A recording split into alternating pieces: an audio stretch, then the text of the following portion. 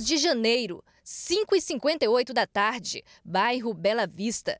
Um casal se aproxima. O homem rende o condutor. O carro é levado. 16 de janeiro, 6h56 da noite, centro. O motorista de uma picape é abordado. Tenta fugir. É perseguido por três bandidos armados. Entrega as chaves do carro. Tudo isso diante de várias testemunhas. Os criminosos fogem. Em três anos, o número de veículos roubados em Teresina mais que duplicou.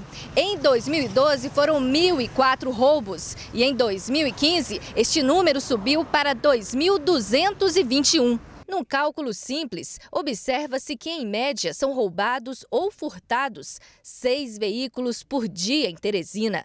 Mas, para o coordenador do Núcleo de Estatísticas da Secretaria de Segurança Pública, há uma tendência de queda desse tipo de crime. A gente percebeu, analisando esses dados mensalmente, que haveria uma forte tendência de queda nesses registros, o que se confirmou no final de 2015 a gente percebeu que essa tendência de alta que vinha do ano, dos anos anteriores foi interrompida, certo? E aí, além de interromper essa tendência de alta, conseguiu uma redução de mais de 10% nas ocorrências de roubo de veículos registrados pela Polinter. De acordo com a Polícia Militar, até o dia 28 de janeiro, os criminosos já roubaram ou furtaram 178 veículos em Teresina. Um desses foi de Arimateia. O fisioterapeuta ficou sob a mira de uma arma. Ele chegava ao trabalho, era 4 horas da tarde. Eu desci do carro, quando eu entrei na rua não havia ninguém suspeito na rua. Então a gente sempre tenta tomar essa precaução de, de saber se há alguém suspeito no local e não havia ninguém. Desci do carro, vesti meu jaleco. Quando eu me abaixei no banco traseiro para pegar meu material de trabalho, minha pasta.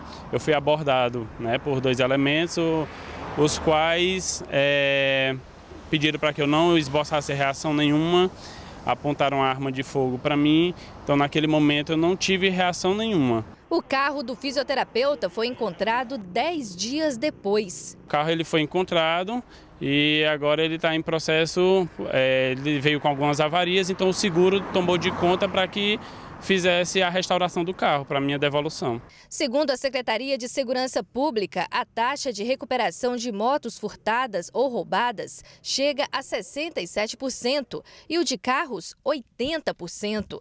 A Polícia Militar explica que há uma mudança no perfil dos ladrões de veículos. Estratégias de segurança teriam diminuído roubos e furtos de carros e motos direcionados para desmanches. 90% desses veículos são motocicletas Fazem para quê? Para fazer pequenas paradas, como eles dizem, para passearem, curtirem a noite e eles abandonam. O preço do seguro de um carro popular pode chegar a R$ 2.500 por ano. Além de pagar caro, o motorista também precisa mudar o comportamento para não virar um alvo.